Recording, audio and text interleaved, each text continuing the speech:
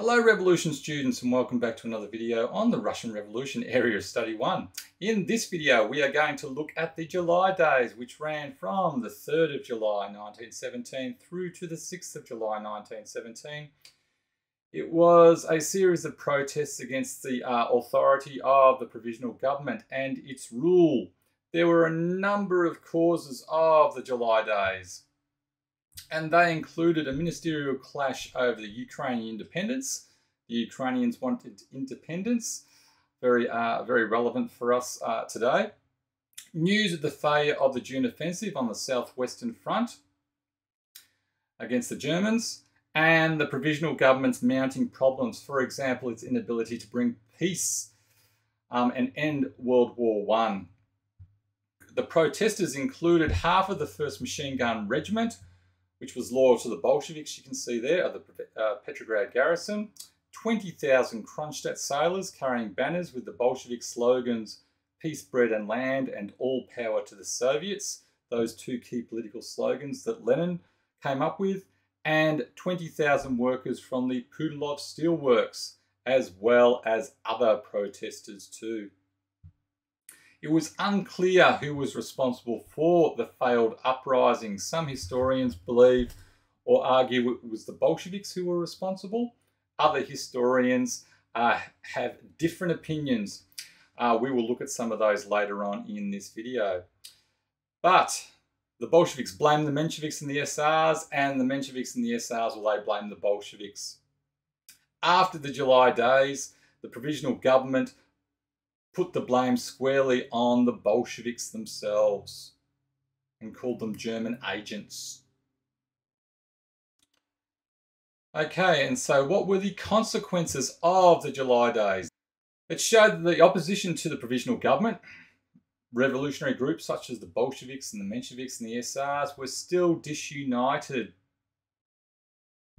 It also showed the Bolsheviks were still far from being the dominant revolutionary party and after the July days, they appeared to be a spent force. Many of them we know uh, went into hiding. Trotsky was arrested, arrested, so was Kamenev. Lenin fled to Finland. And it also showed that the PG still had the power to resist an armed insurrection. And we can see there, as I just said, Trotsky and Kamenev were arrested. Lenin fled to Finland. Uh, an important consequence, though, of this uprising was that it strengthened Trotsky's role in the Bolshevik Party as it demonstrated his loyalty. So Trotsky had only a few days before uh, committed to joining the Bolshevik Party. And uh, the fact that he went to prison in support of uh, the Bolshevik Party and the July Days protests uh, gave him a greater authority within the party itself. Okay, let's have a look at some more consequences. So it taught Lenin and Trotsky that the Bolsheviks needed to be fully prepared next time they attempted to overthrow the provisional government, i.e., they needed to have sufficient popular and military support to succeed.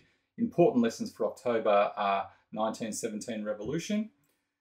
Uh, it taught them that a well-planned military operation was more effective than large-scale attacks in overthrowing the provisional government, for example, taking over key points within the city, the telegraph stations and so forth, ammunition dumps and etc. So even though after the July days uh, the Bolsheviks appeared to be a spent force, they did regain their popularity as a consequence of a couple of events. For example, uh, you can see there as a consequence of their land policy. And this is when Lenin uh, pretty much stole or took the uh, SR's land policy of land to the peasants and recognizing the peasant land seizures, which had been going on uh, since the start of the February 1917 revolution.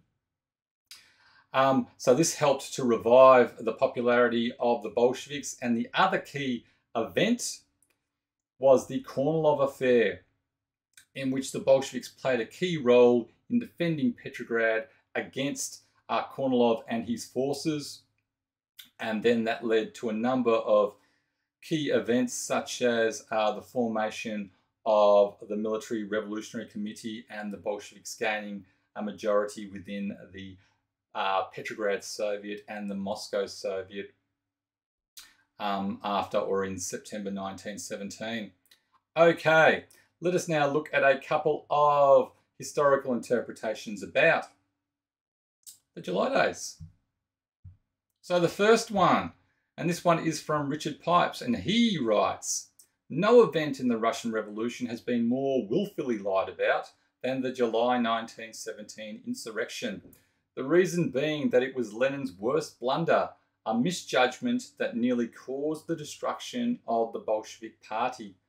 To absolve themselves of responsibility, the Bolsheviks had gone to unusual lengths to misrepresent the July Putsch as a spontaneous demonstration which they sought to direct into peaceful channels.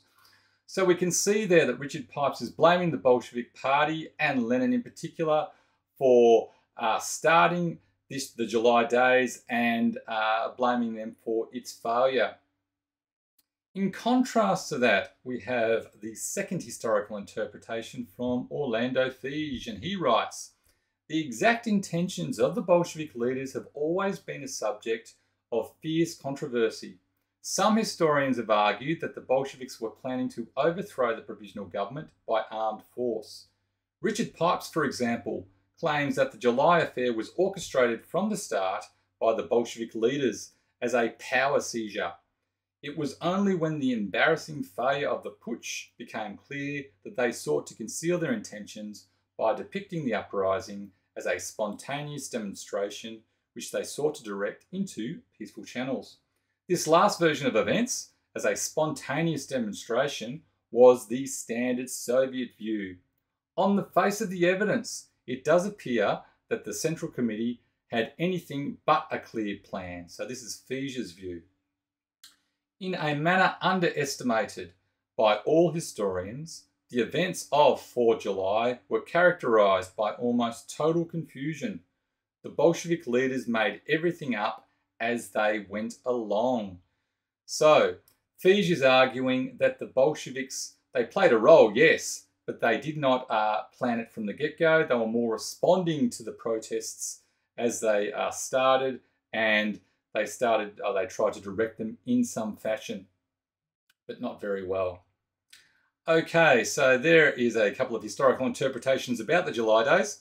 I hope you have found this video on the July days useful for your study of the Russian Revolution, Area of Study 1. And I will see you next time. Goodbye.